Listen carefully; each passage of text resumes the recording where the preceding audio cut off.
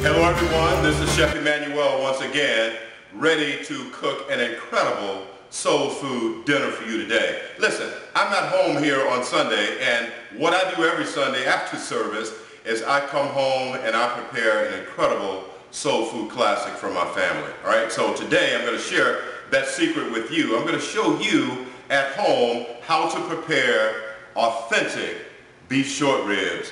And also I'm going to prepare another dish to go along with that. Today we're going to have lima beans with smoked turkey. I'm going to show you guys how to put this whole thing together. Now this is real soul food. This is not the stuff you see on television, all right? And when we come back, it's on and popping.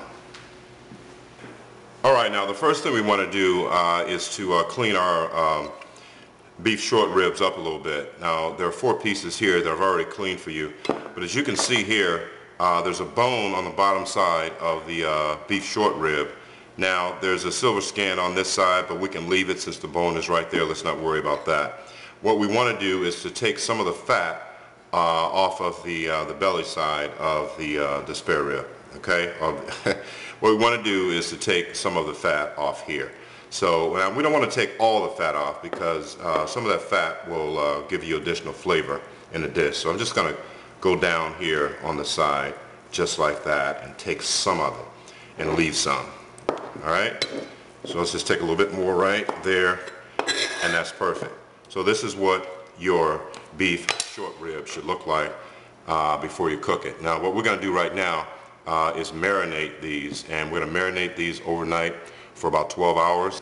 Okay now let's uh, go ahead and uh, season our uh, beef uh, short ribs and uh, prepare our marinade for uh, the short ribs. Now first thing we want to do is to season the meat just like this. Now I'm using uh, fine sea salt to season. Alright, so we go with a little fine sea salt on top. We're going to go with black pepper. Go easy on the pepper. Alright, next thing we want to do is to add a little chili powder. So let's sprinkle the chili powder on liberally.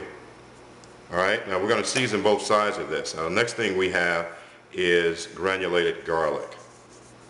I find that the combination of granulated garlic, onion powder, and chili powder really works well together uh, with steak. All right, now we're going with our onion powder. All right.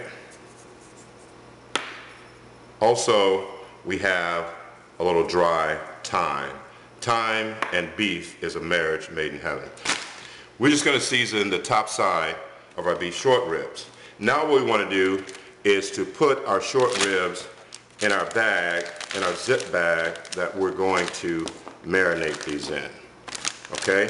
Now, I'm going to open the bag up a little bit just like that. And I'm going to go in with approximately a quarter cup of Worcestershire sauce.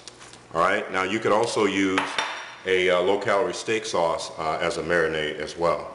Now we have a quarter cup of Worcestershire sauce and now we're going to go in with approximately two and a half tablespoons of grapeseed oil. All right, so let's burp our bag, make sure all the air is out, zip it tightly, just like that. Okay, and you want to shake this around a little bit, just like that. Now this is our marinade.